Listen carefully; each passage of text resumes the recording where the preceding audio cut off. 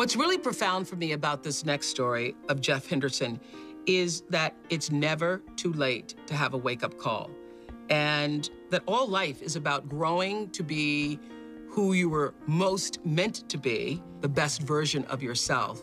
And that even if it takes a disaster in your life, there's always time until you take your last breath to recognize that you have the power. Executive chef Jeff Henderson is at the helm of Cafe Bellagio in Las Vegas. How you guys doing today? Watching Chef Jeff today, it's hard to imagine the troubled path that led him here. I grew up in a neighborhood just like this one here. A lot of poverty, abandoned homes, people sleeping in cars, dealers hanging out on the corners. Jeff says his father left the family when he was only two, and his mother struggled, working two jobs. Me and my sister pretty much took care of ourselves. It was tough at times. You know, there were times when, you know, we wondered what we were going to have for dinner.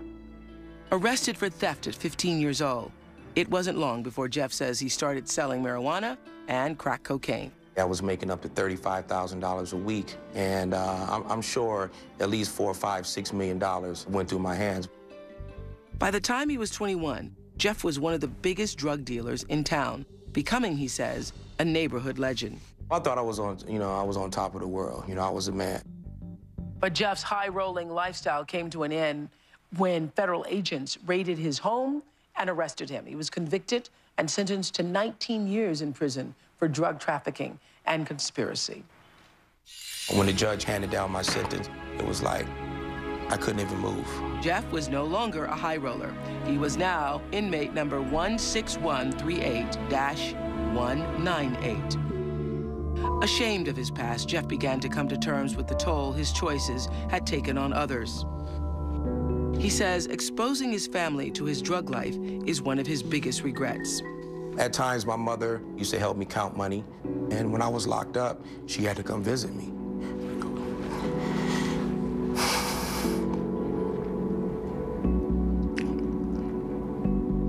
You know, when you're poor and you never had nothing and the opportunity comes to have money and, and do the things that you want to do, you know, you just look the other way.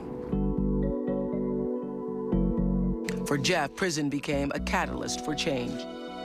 My first book I ever read was in prison. I started to believe I was smart, and I wanted more. I wanted to learn more.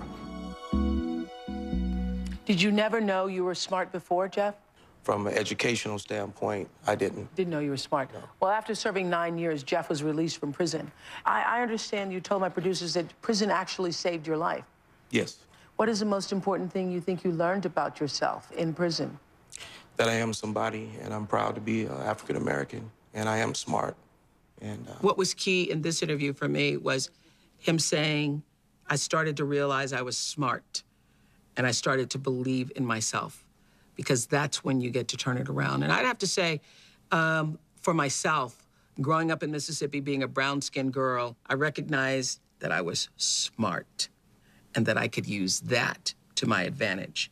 Now, the fact that I was able to figure that out when I was five and six, and it took Jeff Henderson being in prison to recognize it says to me that everybody has their own time and everybody is evolving to what is their own moment in time for that discovery of that power that lies within all of us.